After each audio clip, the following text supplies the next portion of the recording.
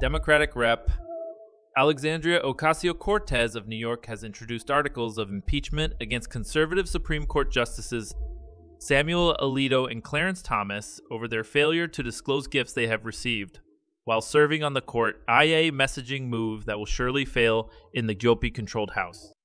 Justice Thomas and Alito's repeated failure over decades to disclose that they received millions of dollars in gifts from individuals with business before the court is explicitly against the law, Ocasio Cortez said in a statement. And their refusal to recuse from the specific matters and cases before the court in which their benefactors and spouses are implicated represents nothing less than a constitutional crisis.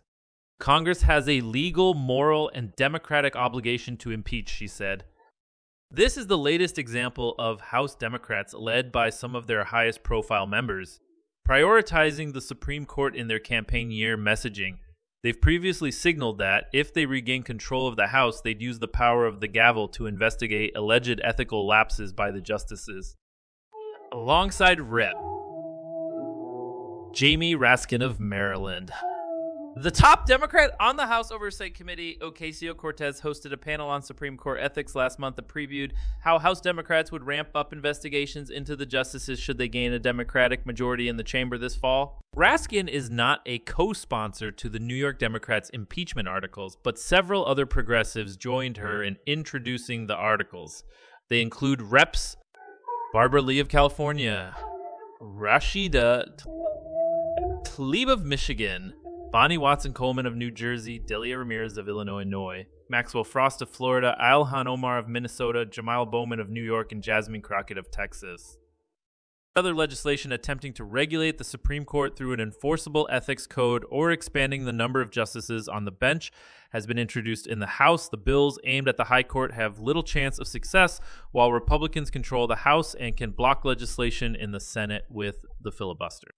Still, Ocasio Cortez's impeachment attempt is the most aggressive proposal by Democrats to crack down on a Supreme Court they believe is engaging in inappropriate conduct earlier this week since ooh, Sheldon Whitehouse of Rhode Island. Ron Wyden.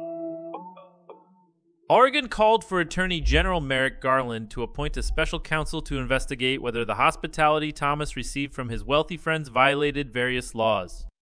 Thomas has come under fire for failing to report on annual financial disclosures luxury travel enjoyed by him and his wife that was bankrolled by a GOP Donor. It was also revealed last year that Alito flew on a private jet in 2008 owned by a hedge fund manager who had connections to cases before the court. Both justices have denied running afoul of the ethics and financial disclosure protocols followed by the justices.